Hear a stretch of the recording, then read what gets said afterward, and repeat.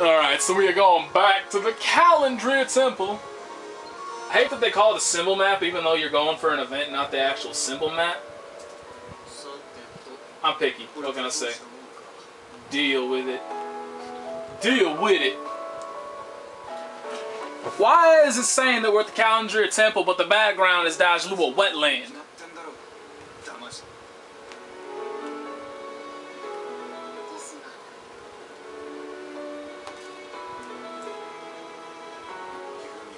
状態だから Uh, I need to change my alarm.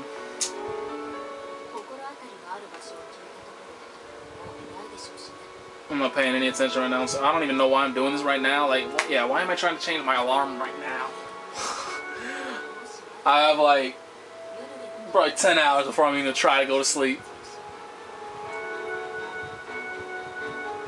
でしたら Man, that's 君を誰も the worst part about my job is it's just like everything is day to day.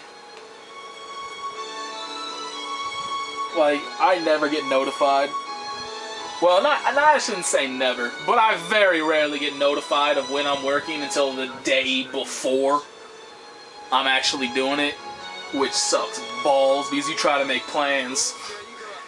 And then you're like, oh, hey, I need this day off. And they're like, oh, we haven't thought that far ahead. Remind me later. And then you remind them later, and they're like, oh, what? But we had you, we were ready to use you on that day. You're like, man, fuck you. Just shut up. You shut your whole mouths. Not doing it.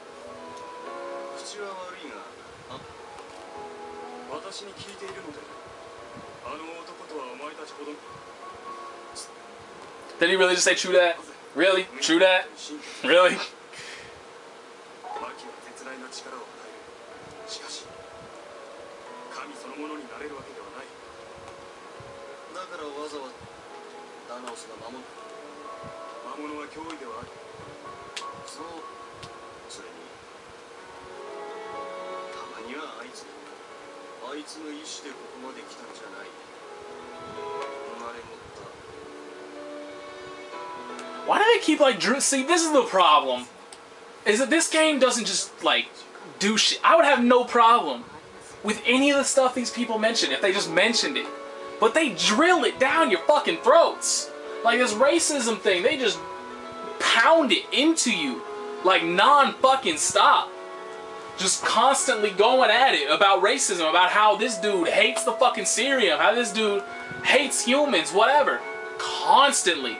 They're constantly talking about how Schwartz is how he is because he doesn't feel like he's in control of his fate and he has to, you know, his fate was decided for him and he has no free will, blah, blah, blah. Like, I get it. I understand that.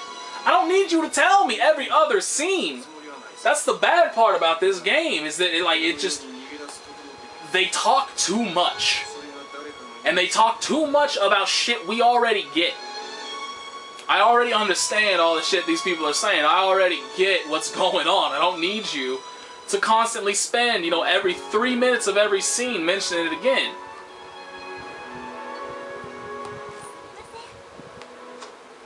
Eh, it's been 15 minutes. I'm good now. I'm over it. Now that I actually think about it, that whole incest thing was weird. I'm kind of happy it's not going to happen now.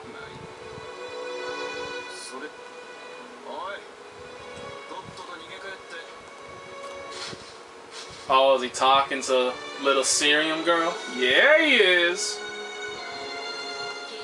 With those cone boobs.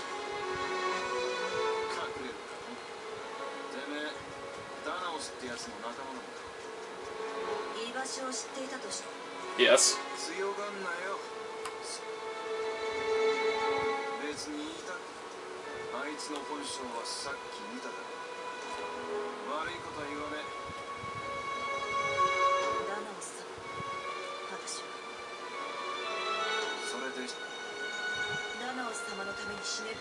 Oh, you are so stupid.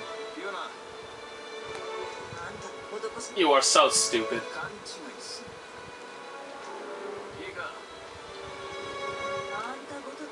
Yeah. We curb stomp the shit out of you. Think we'll be okay.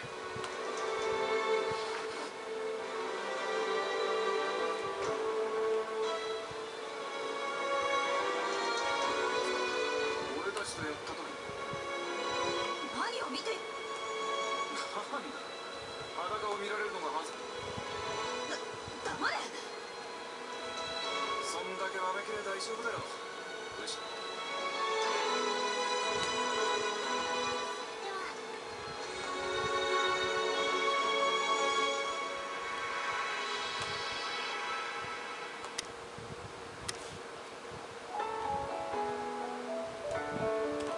私にとどめを刺さなかった You said the same. Did she say the same? Was that the same exact line?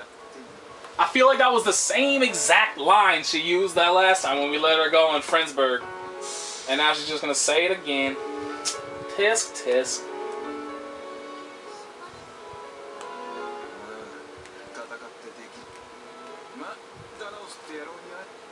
Oh, good, so she's masochistic. That's great.